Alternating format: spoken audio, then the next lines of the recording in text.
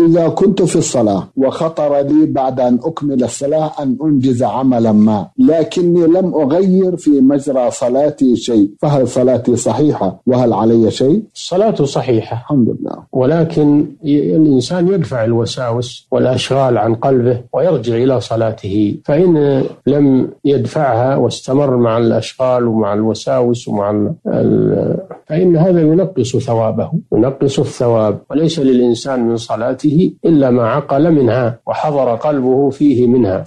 هذا هو الخشوع الذي قال الله سبحانه وتعالى قد أفلح المؤمنون الذين هم في صلاتهم خاشعون فعلى المسلم انه على المسلم أن يحاول الخشوع بين يدي ربه وحضور إحضار قلبه وقطع الوساوس وقطع الشواغل عن فكره وعن قلبه وأن يقبل على صلاته لأجل أن يكتب له أجرها، نعم.